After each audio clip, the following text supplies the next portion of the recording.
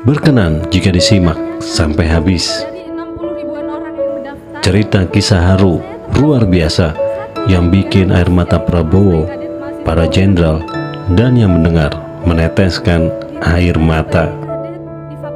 Terima kasih Pak Menteri Pertahanan Prabowo Subianto, Kadet Kedokteran Evania Marisa Rumbo Biar. bahkan izinkan saya mewakili wisudawan untuk menceritakan perjalanan kehidupan saya secara pribadi. Sejak kecil saya bermimpi ingin menjadi dokter. Tetapi apakah hal itu mungkin bisa terjadi? Terpikir betapa mahalnya biaya pendidikan kedokteran itu membuat hati saya ciut tak bernyali. Saya tidak mungkin membebani orang tua saya. Papa saya bekerja sebagai tukang ojek dan memiliki tujuh orang anak.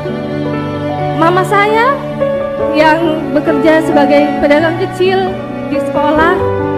Saya paham akan hal itu. Secerca harapan muncul di mana Unan RI membuka program S1 dengan status beasiswa penuh. Saya tergerak untuk mendaftar. Walaupun selama seleksi tersebut saya harus meminjam laptop kepala sekolah. Setiap hari saya berdoa semoga Tuhan mengabulkan cita-cita saya untuk tercapai. Saya sangat bersyukur dan tidak menyangka dari 60 ribuan orang yang mendaftar, saya termasuk satu dari 300 yang diterima sebagai kadet mahasiswa Unahan. Diterima sebagai kadet di Fakultas Kedokteran Militer Unahan merupakan suatu kebanggaan yang luar biasa. Saya tidak perlu memikirkan bagaimana orang tua kami harus membayar uang semesteran, kos-kosan, uang makan, dan bahkan tersedia di sini. Biaya kuliah gratis, tempat tinggal di mes, makan, snack, vitamin, susu, bahkan laptop untuk perorangan. Serta seragam dari ujung kepala hingga ujung kaki.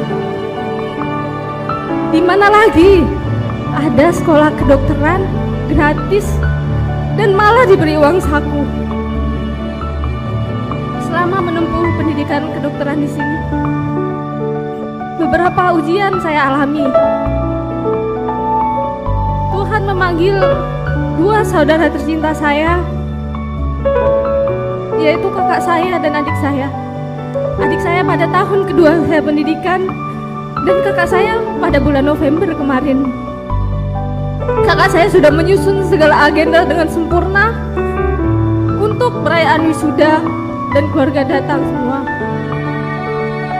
Namun Tuhan berkehendak lain.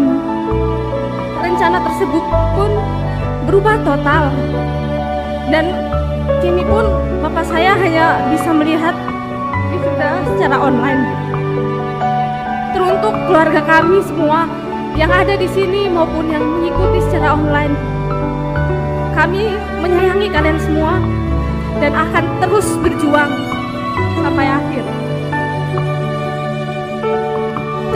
kasih kepada Bapak Menteri Pertahanan, Bapak Prabowo Subianto yang sudah melahirkan program ini menjadi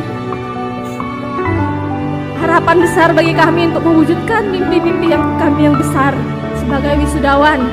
Ini bukanlah akhir dari perjalanan kami, melainkan awal dari perjalanan baru kami. Di depan sana masih banyak tantangan yang harus kami hadapi. Tak peduli seberat apa pun itu, namun kita harus tetap tegar.